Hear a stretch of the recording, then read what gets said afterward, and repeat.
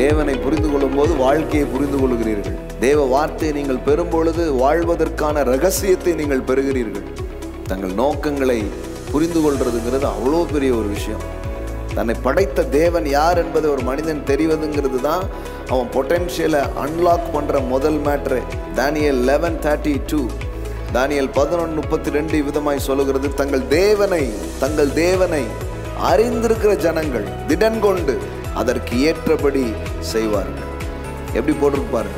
But the people who know their God shall be strong and carry out great exploits பயங்கரமான காரியங்களை நீங்கள் செய்வீங்க. How to unlock your potential ஒரு மனிதனுக்குள்ள இருக்கிற ஆற்றல் எப்போ வெளியே வருது?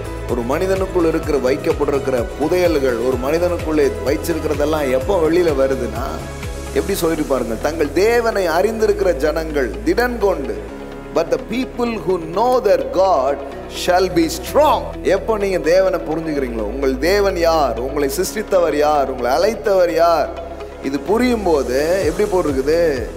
எப்படி போட்டிருக்குது? But the people who know their God shall be strong தேவனை அறிகிற மக்கள் திடன் கொள்கிறார்கள் உறுதி உள்ளவர்களாய் மாறுகிறார்கள்.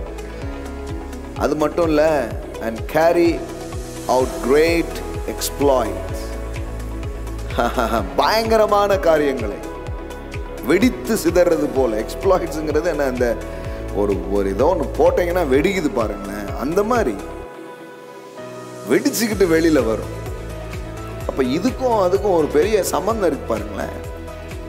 அதனால தான் நீங்கள் ஒரு ரியல் ஸ்பிரிச்சுவல் விஸ்டத்தை நீங்கள் பெறும் பொழுது இந்த உலகத்திலே பெரிய சாதனையாளர்களாக நீங்கள் இருப்பீர்கள். நீங்கள் ரியல் ஸ்பிரிச்சுவல் அண்டர்ஸ்டாண்டிங்ஸ் உங்களுக்கு வரும்பொழுது நீங்கள் சோம்பேறியாகவோ சாமியார்களாகவோ மாற மாட்டீர்கள். சாதனையாளர்களாக மாறுவீர்கள்.